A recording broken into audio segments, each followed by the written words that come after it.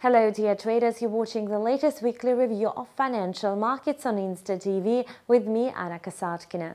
The US main stock indices closed firmly higher Friday, booking a second straight session of gains after a stronger than expected report on the labor market. The Nasdaq Composite Index advanced to 7,688.39. Over the week, the Nasdaq gained 2.4%. The Dow Jones Industrial Average rose to 24,456.48, rallying by as many as 164 points at its best levels on Friday. For the week, the Dow went up by 0.8%. The S&P 500 index closed higher at 2759.82.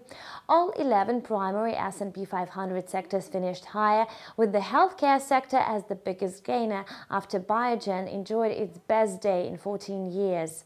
The S&P posted a weekly advance of 1.5%.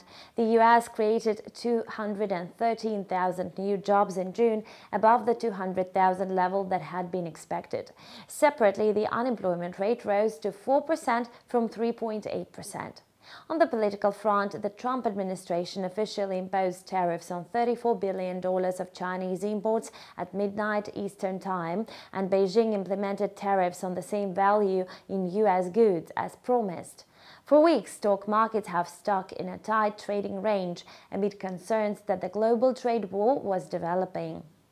Shares in Biogen Incorporated jumped by a whopping 20% after the company announced positive results from a phase 2 trial for an Alzheimer's treatment. The surge represented its best daily gain since February 2004, according to WSJ Market Data Group. At the same time, shares of JP Morgan Chase closed up by 0.3%. JP Morgan said it had no plans to buy into Deutsche Bank after reports that the troubled German lender had caught the attention of potential buyers. The US listed shares of Deutsche Bank slipped by 0.1%. And this concludes the latest weekly financial review on InstaTV. Thank you for watching and see you back soon.